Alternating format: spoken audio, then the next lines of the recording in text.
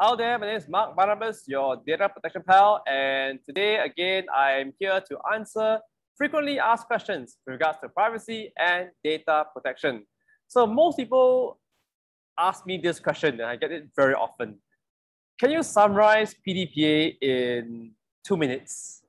So if I were to summarize the PDPA in two minutes, I would say that the PDPA consists of three main components. What are the three main components of the PDPA? Oh, by the way, if you do not know what PDPA is, PDPA stands for the Personal Data Protection Act. So what are the three components that make up the PDPA in my opinion? Number one, the guidelines with regards to handling of the National Registration Identity Card numbers. So that is the first. Number two is the DNC, the do not call. Number three, the 11 obligations of the PDPA. So once again, the NRIC, this has already become law since 1st September 2019.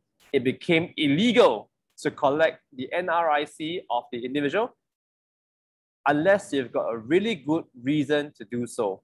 And if you collect the NRIC, then you must put in reasonable protection for the collect after you collect them. So the second important key point of the PDPA is the DNC or what we know as do not call. In Singapore, uh, the do not call applies to Singapore to Singapore phone numbers, office, mobile, as well as faximile numbers. So take note of the D, of the DNC and do not breach it, especially if you are involved in marketing uh, activities. So the third and most important part of PDPA are the 11 obligations of the PDPA because when the PDPC, the Personal Data Protection Commission of Singapore enforces the PDPA on any organization, more often than not, they will use the 11 obligations to enforce it on the organization. And what are the 11 obligations of PDPA? They, you can, of course, watch this video. I've got a very good summary of it. So just to rattle up quickly to you, the 11 obligations are consent, notification, purpose, accuracy, protection, retention, access and correction, transfer, accountability, data portability, and data breach notification.